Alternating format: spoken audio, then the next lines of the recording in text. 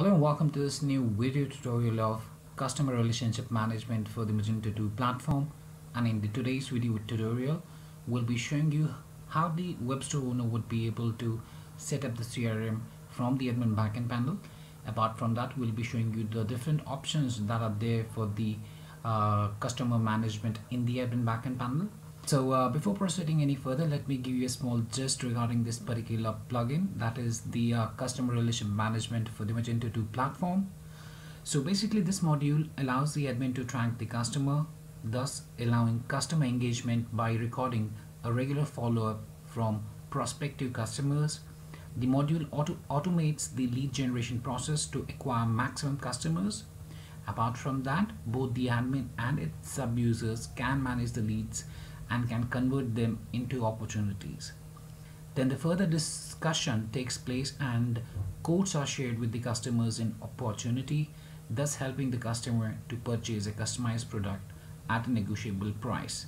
So some of the highlighted features of this particular plugin are automated uh, lead generation, quick customer information management, staff management, customized product purchase, activity tracing, and lastly the generate demand option. So let's get ahead and let's see how uh, we can configure this particular plugin initially after the admin has installed this particular plugin from the admin backend panel. So let me go ahead and let me take you to the backend panel first. So here I am at the uh, Magento 2 web store backend panel. So I'll be entering my username and password and tapping the sign in button to uh, log into my account there in the admin backend panel. So uh, after I've logged in uh, uh, here uh, what I need to do is I'll have to configure this module initially. So for that what I'll be doing is I'll be navigating through stores and then configuration. So after I've properly installed it I'll navigate through stores and then configuration and then on the configuration page uh, under the Webkul block we'll just navigate to the uh, CRM settings as you can see here. So right now this is just a demonstration so we have some other modules installed as well. So after the successful installation of this particular plugin you'll have the CRM settings submenu option under the uh, Webkul block itself on the configuration page. So just tap on the CRM settings and this would bring up the uh, configuration settings for the plugin itself so here uh, for the uh, CRM settings. We have two different sections. One is the uh, general settings and the other one is the email template settings. So uh, let's go through the general settings uh, first and uh, let's go through each of these points one by one. So the very first option that we have is the CRM admin admin email sender name. So basically the admin would have to mention his name that would appear in the mails from section. So uh, whatever name that you entered here would be used within the emails and uh, that name would appear within the from email from section. So you can set up accordingly as per your own requirement there. Then we have the CRM admin email. Here the admin will have to mention the mail ID uh, using which the mails would be shared with the customers. So whichever email ID you have entered here that would be used to uh, share the emails with the customers. So that would be used to send, send the emails to the customers. Then we have auto lead generation from wish list. So basically we have uh, an automatic and a manual option for it. So basically if uh, enabling of this field would allow the generation of auto leads from the website's web uh, from the website's wish list section. So if you have chosen this as automatic then the uh, what we say as the uh, automatic generation of leads would be uh, would be created from the website's wish list section. So for that the customer should have uh, logged into his account initially so that if there are any uh, products within the wish list then uh, using those products the auto lead generation from the wish list can be set up. And the other one is the manual one. Then we have the generate lead time difference for wish list so basically however uh, we can see that the admin can set up the time duration after which the products in the wish list will become a lead for the sales team. So you can set up the time frame in minutes after which uh, the leads would be generated for the sales team for the products that are there within the uh, wish list itself. Then we have the auto lead generation from abandoned cart. So here we have an option for the automatic and the manual one so for the automatic we need to set up the cron. Same uh, goes for the automatic lead generation as well. We need to set up the cron on the server for the automatic method. Then we have the auto lead generation for the abandoned cart. We can choose it as uh, uh, automatic or a manual one. So the admin can enable this particular option if the lead generation will uh, take place from the uh, customer abandoned cart so if a customer abandons a cart at that time auto lead generation would be created if automatic uh, selection has been set up. Otherwise the admin would have to set that up manually. Then we have the generate lead time difference for the cart. So additionally uh, the admin can define the time difference after which the products in the abandoned cart will be a part of the lead for the sales team. So this is the time in minutes after which the uh, uh, leads would be generated for the sales time uh, for the abandoned cart. After that we have the auto lead generation from contact form. So here you can choose a yes or a no. So by choosing a yes this field would enable the admin to auto convert the contact information to lead. So if uh, the admin has chosen a yes for that and a customer comes uh, in and uh, generates uh, a query from the uh, contact form. At that time that customer would be converted uh, into a lead automatically. Otherwise if he won't if we select this option as a no. And lastly under the email template settings here the admin can set up the quotation email and the CRM agent account creation email.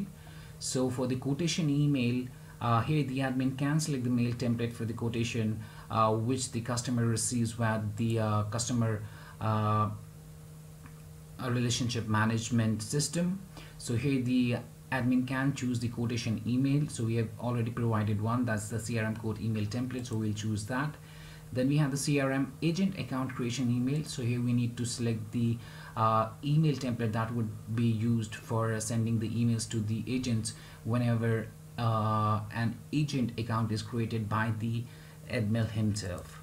So that were the uh, basic uh, settings for the uh, what we say as the customer relationship management for the Magento 2 plugin from the admin backend panel. And um, so let me now show you how the admin would be able to manage the users uh, from the admin backend panel. So uh, for that what I'll do is I'll navigate through uh, the uh, option that is CRM management and uh, here we have the CRM management. So after the successful installation of this particular uh, module on the admin and panel you'll find the CRM management option. So tapping that up brings up around six sub menu options. So we'll go through each of them one by one. So first we'll do the user management. So let me open the user management uh, section first by tap by opening this particular user management sub option in another window here. So uh, as we know that these store owners can never manage the multiple leads on their own if uh, their business structure is too large. For this the admin just needs to navigate to the user management section so as to manage the uh, users. So here the admin can create new users by tapping the add new user button on the right hand top side who can manage the CRM system. So uh, basically here right now I've added one uh, user already and from the actions drop down the admin can also delete any of the users. He can make use of the filters to search using the username, ID, first name, last name and email to search the added users. So uh, the user management basically involves the creation of new users or editing the information of the existing ones. So uh, let me tap here on the add new user button to add a new user. So here I'm at the uh, create user section. So here the admin needs to enter the information for the uh, new user to be created or the agent to be created. We'll be setting in the username uh, for the uh, for the agent, the first name, the last name for the agent, his email address, his job title, phone number, fax, address, city, state, postal code, password. We'll confirm his password. We'll set the account as active or inactive.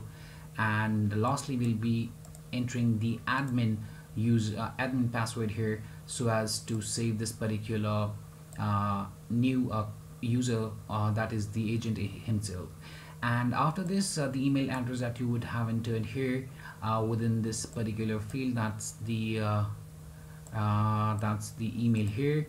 An email would be sent out uh, on that particular email containing the username and password information for that particular agent so after that just tap on the save user to save the particular user and you'll be able to see that user being added under the create under the uh, under the user uh, under the user section uh, for the CRM management. So you'll find that user within uh, I'll just CRM management and then user management. So here you'll find all of the created users now uh, here you can see that uh, we have already added one. So you can edit the user by tapping the edit user link under the actions column. So uh, in today's video I have just shown you how uh, uh, how the different options appear to the admin in the backend panel for the CRM management itself.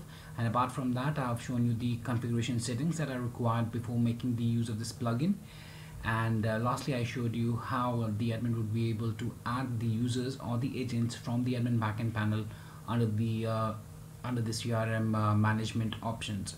So uh, in today's video tutorial that's much. And in the next video tutorial I'll be showing you the rest of the uh, workflow that is there. And I'll be show you, showing you the complete flow of the uh, customer relationship management for the Magento 2 platform there so uh, thanks for watching this particular video today and I hope it helped you out somewhat. So um, if you have any questions or queries regarding this particular plugin then you can always get back to us at support at the of webkul.com or you may raise a ticket at webkul.ubidesk.com thanks for watching this video and have a great day ahead